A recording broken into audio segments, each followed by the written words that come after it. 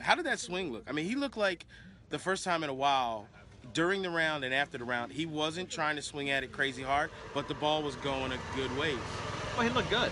I mean, he the biggest thing with him, he looked healthy, and you know that's all we want. We want Tiger healthy. We want him back, and you know playing golf, being out here with all the guys, hanging out, and you know just out competing. Because uh, you know, competitor to competitor, you know that's eating at him. He wants to be out here playing, competing, and playing good golf, and. Uh, you know that, that's what we want to see. We want to see him come out, play some solid golf, and you know just enjoy it and have, have a good time. And I mean, he's, he's hitting it a long way right now. He, he's hitting it he's hitting it effortlessly, you know, and it, the ball just seems to kind of be jumping off the face and going a good distance. But uh, you know, it's just gonna be one of those things: is how's his body gonna hang up? How is he gonna be? But uh, you know, it was good to see him hitting all the different shots, body movement. You know, whether it was you know hitting something hard and fast to hold hold something in the wind, or hitting something soft going at something a little steeper, getting in the bunkers.